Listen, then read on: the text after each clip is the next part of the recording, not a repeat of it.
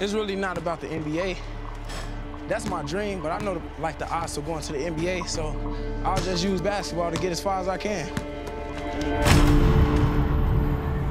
You're watching one of the best guards in the country. His freshman point guard out of Chicago. Keifer Sykes. Keep your eye on Keifer Sykes. People praise me for playing basketball well, but as fast as you snap your fingers, my life could go down the drain.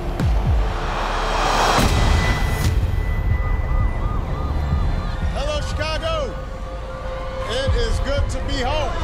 21-year-old male person shot and Come from Chicago, where I was brought up, I mean, a lot of dreams don't come true. There are 625 gangs in Chicago. The situation is worst on Chicago's south and west side. Every day you step outside your house, you just have that fear that something may go wrong and you have no control over it. He pointed at the car. The shots just started coming out of nowhere. I, I felt it when I got hit.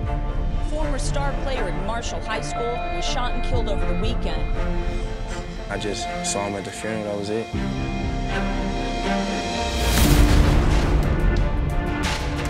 Keifer is carrying a lot of our dreams because a lot of us went to a road of destruction.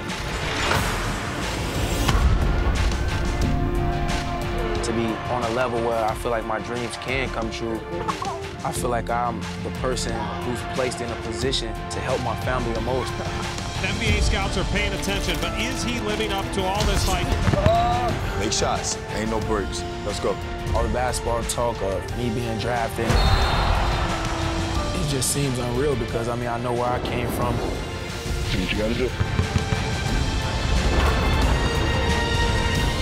And with the 58th pick in the NBA draft, I just got to keep working, keep fighting, because everybody can't be a basketball player.